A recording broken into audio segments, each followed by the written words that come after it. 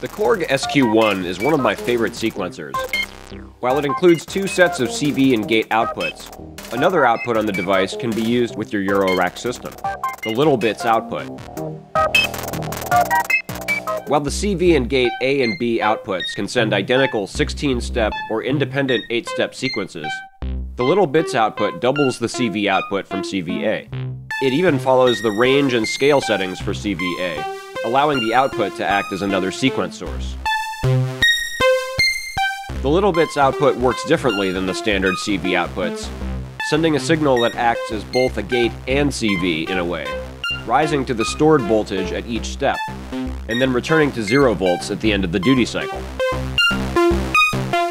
Of course, this can be applied to additional oscillators to control pitch. But it can also act as another source of sequenced modulation, for instance, controlling the cutoff on a low-pass filter so it opens up to let higher-pitched notes through, also known as key tracking. How are you using the SQ1? Let us know in the comments. Thanks for watching and sharing, and as always, please like, follow, and subscribe.